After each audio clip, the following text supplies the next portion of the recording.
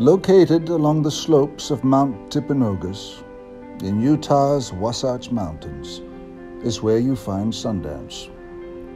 It provides the backdrop to Bron Roylance's latest canvas, an architectural mountain home design he's calling the Monastery, a unique old stone structure which, in his imaginary world, could have been an 18th century monastery, and over the course of time evolves into a ski lodge.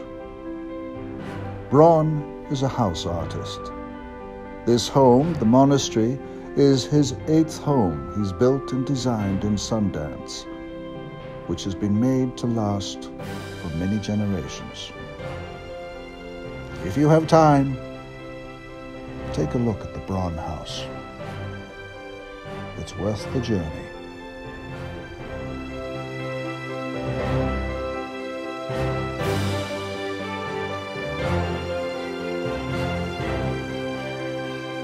Before I started building the home and had any ideas, I would spend time on the property getting a feel for it.